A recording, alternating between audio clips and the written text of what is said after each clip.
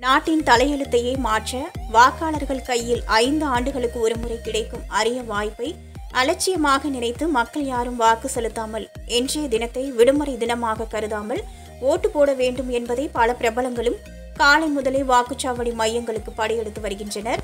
எப்போதுமே நடிகர் அஜித் வரிசையில் நின்று வாக்கு செலுத்துவது வழக்கம். திருவான்மையூரில் வசித்து வரும் நடிகர் அஜித் திருவான்மையூரில் உள்ள வாக்குச்சாவடி மையத்தில் காலையிலேயே வந்து சில நிமிடங்கள் காத்து நின்று வாக்கு செலுத்திவிட்டு சென்றுள்ளார்.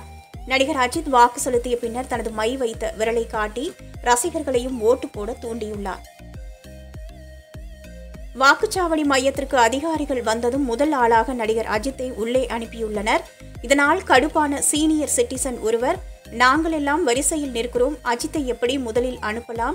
அவரை வெளியே வரச் சொல்லுங்கள் என்று அதிகாரிகளுடன் வாக்குவாதத்தில் ஈடுபட்ட காட்சிகள் தற்போது சமூக வலைதளங்களில் தீயாக பரவி வருகிறது.